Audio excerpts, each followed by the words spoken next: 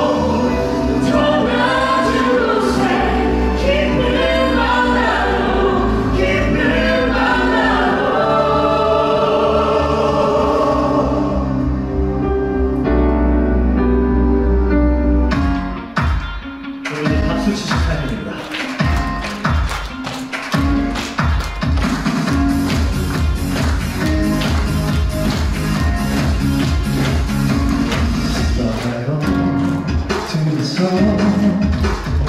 오물을 버리고 새벽에 푸른 밤 그녀 아래 아파트 뛰어난 고나는 밟을 수 있는 창문이 좋아요 인간은 다 일부 한글도 우리 교이 확보하요